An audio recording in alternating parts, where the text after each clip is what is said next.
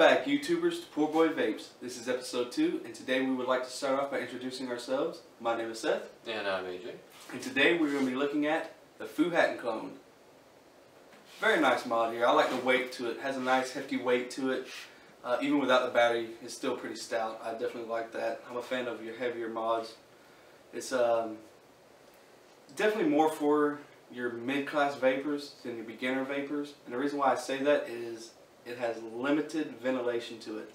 And I will show you where the vents are. It's uh, definitely something you got to definitely know how to do your coil builds on, know your battery law, know your ohm law. As long as you know all that, you'll be safe with it. I don't discourage from buying it for that factor.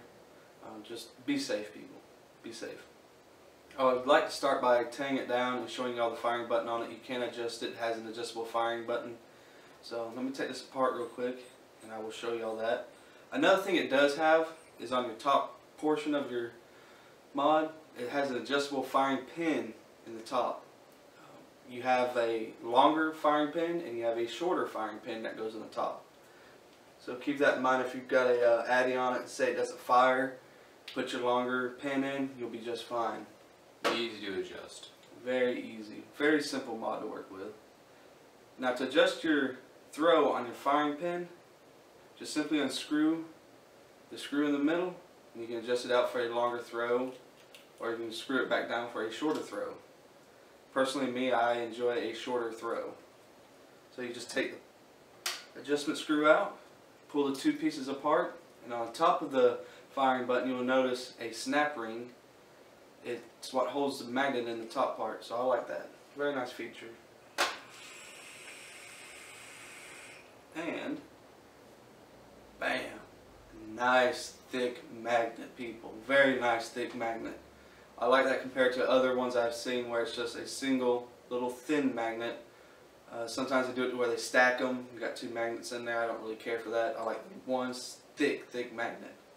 Now the firing pin itself that houses the magnet, you will notice, it is very plain. I love that. I notice on some of these clones, you'll notice when you're looking them up, that on the bottom of the firing button, it'll have the middle finger, American Vape, or American Clone 101. I don't care for that. And it gets scratched easy and just looks like crap. It does, it really does. So I'm going to throw this back together real quick for y'all. And while he's doing that, this mod does run a standard 18650 battery. We're running the eFest 18650 2500 milliamp 35 amp battery. It's a good battery to go to for any of your mods. Flat top, it can run with a button top, but with some finagling, I would run the standard flat top, which it's made for. And this entire housing as well as the firing pin is all solid copper, which is obviously an excellent source for your conductivity for your batteries and whatnot. And also remember every now and then to tear your clones or your mods or whatever down if you can. Clean them out real good. Keeps them operating right, especially with these magnetic firing buttons like this. If you work around welding, grinding, you get metal shavings in there. Um, I've had it where it will cause problems with the actual firing of the mod. I don't know if you have.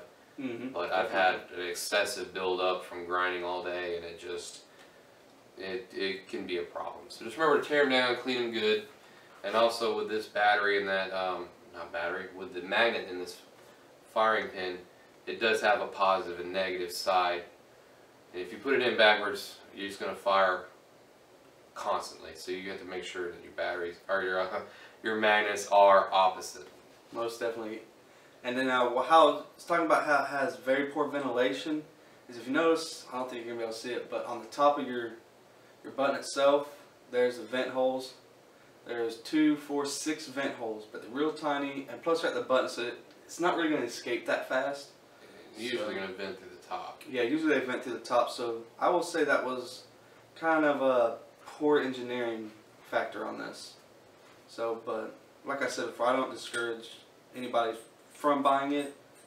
I'll just say, just know your safety. That's all there is to it. That's pretty much it for Pretty that. much blunt. So Yeah. I'll uh, I'll take a hit off of it and show you how well it hits. Running a 2 ohm coil for a Dark Horse clone, which produces pretty good vape. Very well. Very well. The voltage drop on here is very nice. There's not hardly any voltage drop to it. So that's that's a good thing. That's a good thing about the copper in it. Um, another thing I'm gonna go ahead and hit on real quick is price point. Yay! Moment we've all been waiting for. We'll start high. Most of your vape shops, I know the ones down here that I've been to have these in them, and they run about fifty dollars. Pretty steep.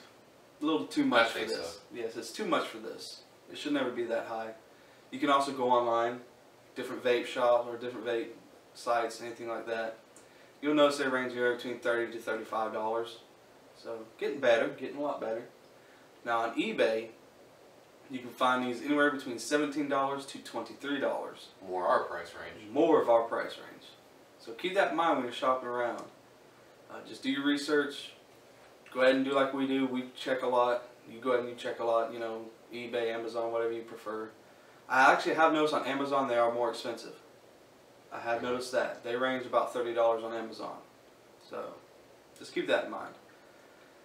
Um, another thing we're going to go ahead and discuss today is some of our future videos we have stored for you. And another thing I want to go ahead and point out is our backdrop we have. It is awesome. This is actually a hood. And our plan with the hood is to fill it with stickers, mainly vape related. Um, Juices, juices, Addies, Addies, mods, anything vape related. anything vape related. One thing we will say is if you send us provocative vape things or anything like that, we will not put them on the hood.